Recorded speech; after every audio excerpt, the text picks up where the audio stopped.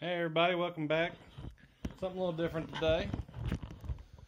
Got the Exmark, my mower here. Uh, just got the battery tender on it.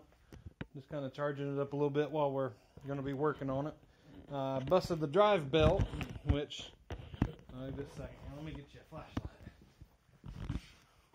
A little darker in here on the camera than it is actually.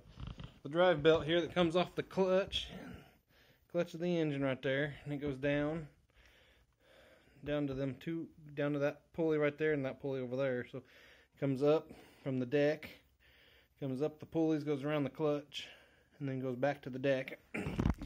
And got a moving blanket here.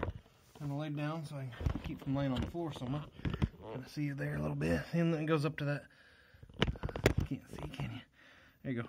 It goes up to that double pulley and it goes around the bottom side. That kind of rustier looking piece right there behind that bolt.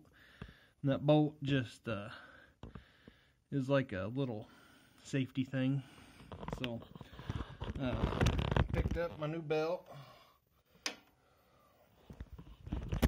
Right there. Let's see find the numbers here. I mean it's the mark? it's like a it doesn't even come up in the system it's like a 1998 model. There's the numbers if y'all interested. That's a 60 inch cut, 25 horse Kohler. Like I said, it's a it's a 98. It does good. We just put uh, them four wheeler tires on it. They're about uh, they might be about 20 25% tread or so. I mean, not too. They're pretty wore down, especially on the sides here. Especially right there. I mean, there's like nothing right there. Just a little bit. You can hook your finger in just a little bit. But I mean, like I said, it's not. There's a little, little light.